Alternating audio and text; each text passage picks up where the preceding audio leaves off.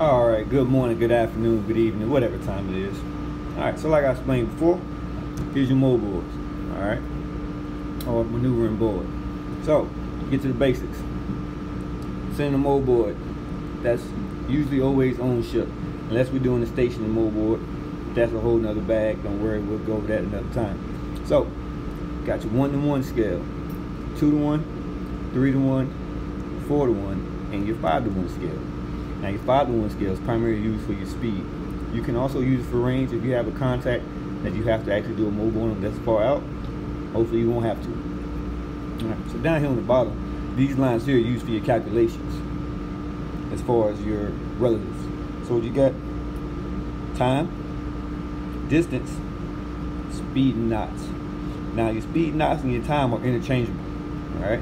Unless you have something that's over 60, then it won't be. All right, so let's go ahead and kick this thing off. Let's say that the Blue Ridge, excuse my handwriting, I write like a doctor, uh, even though I'm, I'm, I'm not one. So let's say Blue Ridge is on course 020 at 10 knots. So you take your bodice here and you go ahead and you measure out on your 5 to 1 scale 10 knots Put your metal pointer in the center. You make your little dot right there on 020 line. Now, you can just do an arrow if you don't like a whole bunch of lines. That's usually why I do it. Or you can actually just draw a line out so you can see exactly what your ship is doing. There you go. All right. So, let's say your first hit on this contact at time 1203. Let's say it bears 050, 14,000 yards. Let's say at time 1206, that contact now bears 049, 11,000 yards. All right, now with mobiles, it's nothing but angles really, triangles to be exact. All right, so whenever you're doing your radar fixes, you want to either have two hits three minutes apart or three hits two minutes apart. That way the time equals six minutes, which is easily dividable by three. Pretty simple. Rules of three work very, very well doing mobiles. All right, so me myself, I'm going to use the two to one scale. Why two to one scale, you ask? I'm glad you asked that. Very simple. So I usually rule, I will use the rule of eight, all right, or the number eight. So if I'm on a one to one scale, if it's 8,000 or more, guess what's gonna happen? That contact's going either this way or that way. You're gonna run off your mobile. We don't wanna do that. So if it's more than 8,000 yards, then I'm gonna bump up to my two to one scale. If it's more than 18,000 yards, then I'm gonna bump up to my three to one scale, so on and so forth. All right. So like I said, we're gonna use the two to one. So I'm gonna range out. It's 14,000 find that 050 line. Boom. Make my little dot there. Alright. So remember when you're doing these, you know, you don't want to make your dots too big or have your lines too big. That can throw you off. You know, you end up being a couple degrees off or uh, even a couple minutes off on your time when you do your calculations. So for that next hit, 11,000 yards, I'm going to use my parallel for this one so I can be more accurate. And that's going to be 049. Make my little dot. Bam. Alright? Time 06. Alright, so another thing you want to remember too, like I said, mobile is pretty much triangles. So SDT, speed, distance, time. Any two will get you the third one. Alright, always remember that. So what we're gonna do now, we're gonna take a look at our two radar hits or dots, either way. And we're gonna draw a line in the direction that it's going. We wanna draw it past the center our own ship, all right? Then we're gonna parallel to our, what represents our course and speed heading, same direction, all right?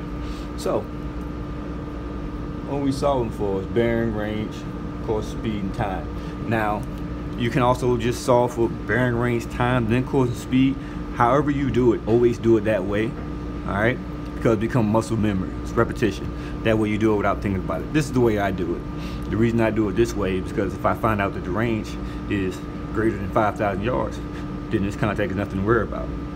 But if it ends up that it's less, now it's on my radar and I'm thinking about it. And I gotta start deciding if we're gonna avoid this contact or not.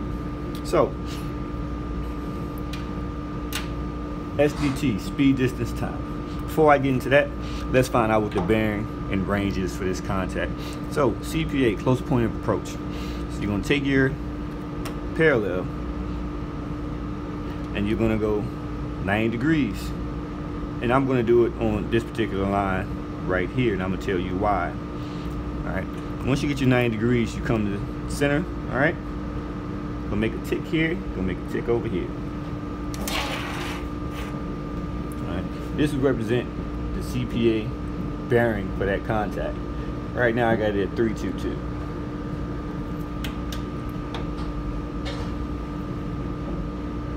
And from the center of the moboard to where that little tick mark is we just made represent the range.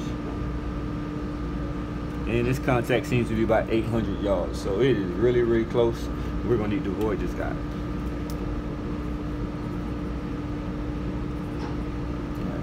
So why is the CPA on this particular line?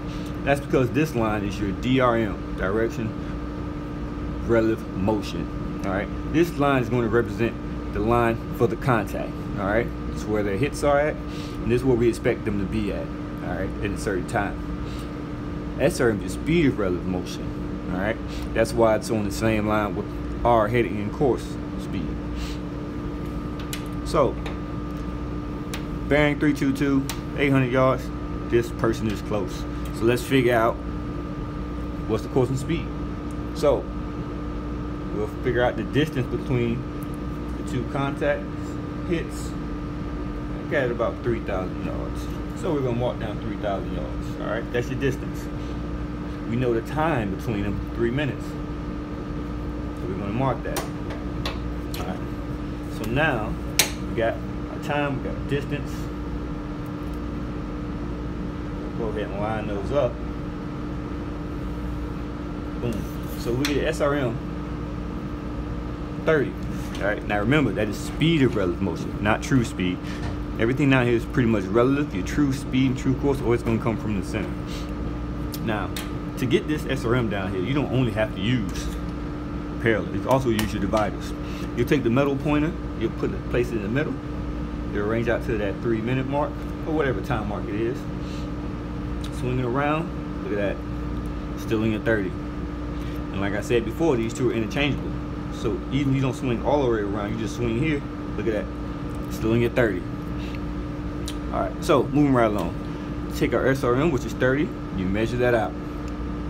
And since this is the SRM, we will put it on our SRM line. So you'll put your metal pointer on the arrow that represents our course and speed. swing that bad boy around Look at that. Now we got a tick mark on our SRM. Tick mark is very important. What that tick mark represents is the true course that, that contact is going. All right. So we'll use our dividers and our parallels together, coming from the center, and line it up so you get where that tick and that line meets to get that crosshair. This represents that true course that that contact is going. And I got it going 246. Now the distance from center to moboard to where that meet represents the true speed of that contact. And I got it at 22 knots. So as of right now, CPA bearing for this contact is 322, range 800 yards, course 246, and it's moving 22 knots. So it's cooking. So what time will it get there? Remember your SDT still applies. Got our S, speed of relative motion. So the distance from the CPA, that last known point, we have at 11,000 yards, right? So we're gonna mark our 11,000. You notice we got our speed of motion, we got our distance, and that's gonna give us our time. Line it up, look at that, triangle. So it'll be there in 11 minutes. Now, of course, you do know you add your 11 minutes to your actual time. It'll be there at time 16. All right.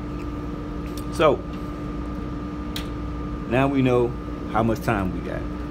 So roughly we got 11 minutes to figure out what we're going to do about this contact that's going to pretty much be right on top of us. So we already know what the standing orders say, right?